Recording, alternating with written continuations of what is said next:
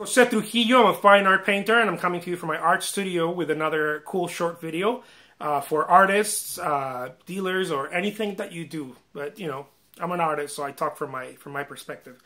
Um, the question is, how do I find inspiration? How can I find inspiration or more inspiration? How is it that I'm that I'm that I how can I get inspired? How do I find it? You know, and, people ask me, you know, Jose, you, you, seem to be inspired all the time. You're always creating paintings and this and that. You know what? That's the that's the trick right there. I don't I don't go look for inspiration. And and I know this is this might be obvious, but many artists or many people are like uh, photographers or whatever. Uh, they tend to to think, oh well, I'm going to uh, uh go to uh, I don't know Hawaii and look for inspiration, or I'm gonna, you know, go to my, I don't know, uh, to another studio or visit an artist. And those are certainly good things to do if you know if you got the time and you, you know, whatever.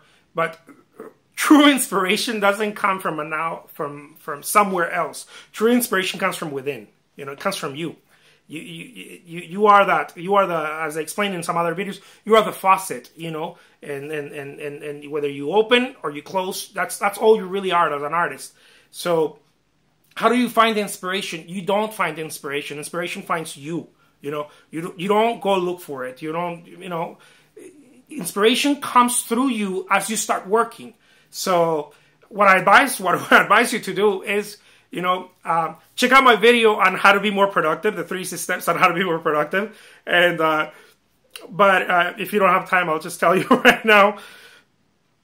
When you want inspiration, you have to just keep going. You know, uh, let's say I, I want to be inspired today. Oh, you want to be inspired? Okay, then then become become that uh, that funnel for inspiration okay? For inspiration to flow through. So example i'm a, I'm a painter right? I want to be inspired with with with uh, a new painting.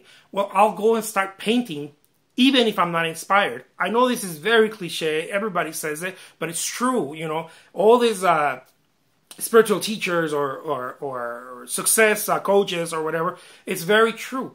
If you don't feel the part go play the part you know, go if you don't feel like a million bucks, act like you're a million bucks. If you don't feel inspired, go act like you're inspired.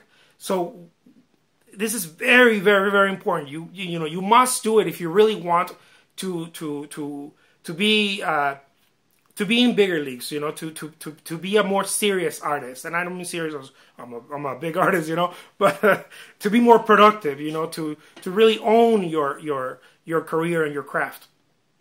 Um, Example, I'm a painter. I want to feel inspired. I go and paint. And I don't just go and paint a little bit. I open that faucet all the way out, you know, all the way out.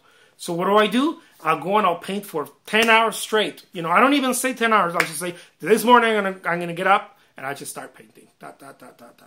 Or whatever, you know, whenever it is that you have your chance. And then you'll feel the inspiration just flow. But it will not come right away. It might. But for the most part, it doesn't come right away. It comes through the it comes through the work, opening that faucet, like I said. Okay. So how do I how do I become more inspired? Don't just go work, and inspiration will follow behind you. Okay. My name is Jose Trujillo. I'm a fine art artist, and uh, thank you so much for watching. If you like this video, you're gonna like the next ones that I'm gonna be posting. Bye bye.